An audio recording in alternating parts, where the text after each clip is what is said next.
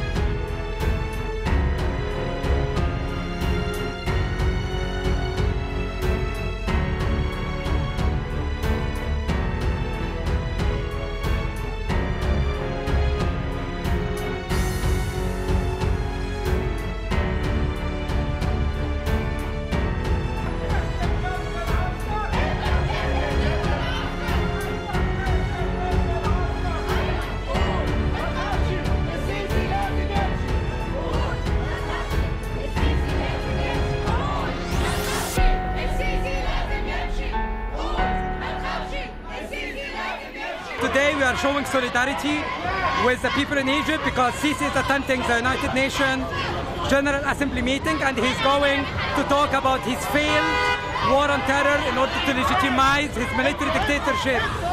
Down with Sisi. His military dictatorship has to end. There is no excuse